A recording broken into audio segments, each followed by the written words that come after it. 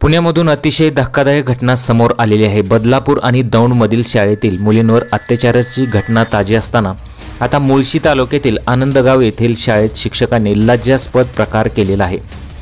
मुलींनी जे अर्ज केलेला आहे आणि त्या अर्जामध्ये मुलींनी जे जे सांगितलेलं आहे ते ऐकून आपलं काळीच पिळ उठून जाईल. चॅनलवरती नवीन असाल तर एम एम मराठी न्यूजला जरूर सबस्क्राईब करा.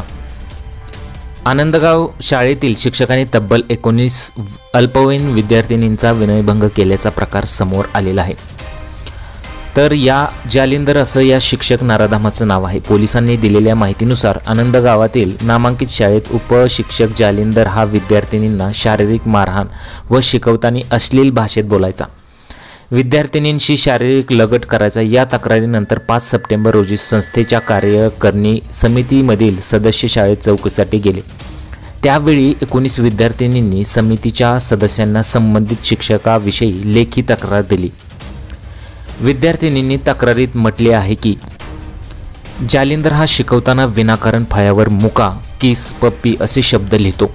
तसेच शिकवताना मामाने मामीला मळ्या गळ्यात मिठी मारली असे वाक्यप्रचार करतो. असे विद्यार्थिनींना विद्यार्थिनींनी तक्रारीत म्हटले आहे. विद्यार्थिनींनी तक्रारीत अर्जात पुढे म्हटलेले आहे की जालिंदर याने शाळेत खेळणाऱ्या एका मुलीच्या डोळ्याला पट्टी बांधत तिला मिठी मारली.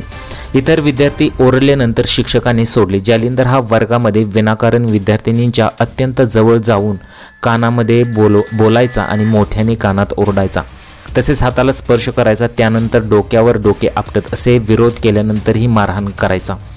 जालिंदर हा वर्गामध्ये अश्लील कविता करायचा त्यामुळे शाळेतील विद्यार्थिनींना लज्जा उत्पन्न होईल असे वर्तन करायचा असे तक्रारीत नमूद केलेले आहे. आता शाळेवर आणि शिक्षकांवर किती विश्वास ठेवायचा असा पालकांनी प्रश्न उपस्थित केलेला आहे. त्याचबरोबर या जालिंदर नरधमाला शिक्षा झाली पाहिजे अशा सुद्धा मागण्या बऱ्याच लोकांनी केलेल्या आहेत.